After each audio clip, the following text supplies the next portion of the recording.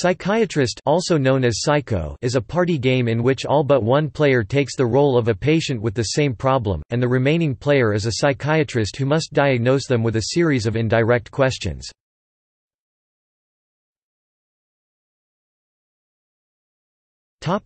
Gameplay The players sit in a circle, with one player sitting in the center of the circle. The player in the center is the psychiatrist, and the players in the circle are the patients.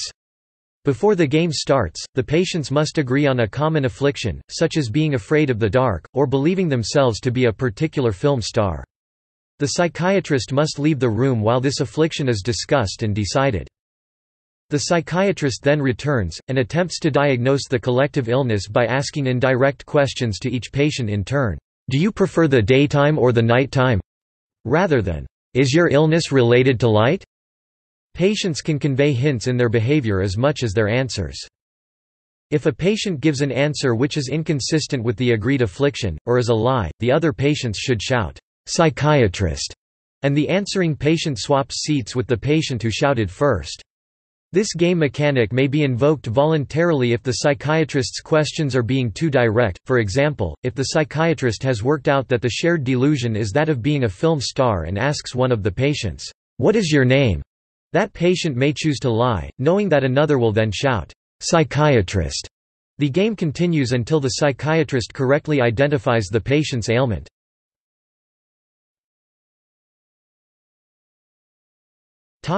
Variants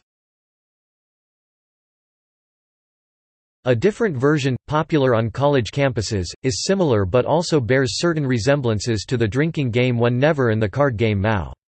In this version, as before, participants sit in a circle while one person leaves the room. The circle then decides on a pattern, such as, "...the person sitting to my right." Upon re-entering, the person who left the room the psychiatrist must then guess the pattern by choosing someone from the circle and asking them a personal question. The person must then answer for the person that the pattern dictates. In the example given above, everyone would answer for the person to their right, to the best of their knowledge. For example, if a player is wearing red socks, and the person to their right is wearing blue socks, the player's answer to the question, Are you wearing blue socks? would be, Yes. The questions do not have to be limited to yes, no questions, and generally tend to become more and more personal and risque as the game progresses. If a player answers a question incorrectly, anyone who knows that the answer is incorrect shouts, "'Psychiatrist!' and everyone switches places. The true purpose of the game is to discover interesting and usually ribald information about the players, and also to discover how much people really know about each other.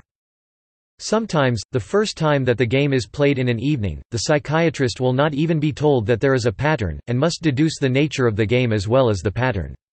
With a psychiatrist who already knows how to play, the pattern tends to be quite esoteric the first person to your left who is a different gender but shares your hair color.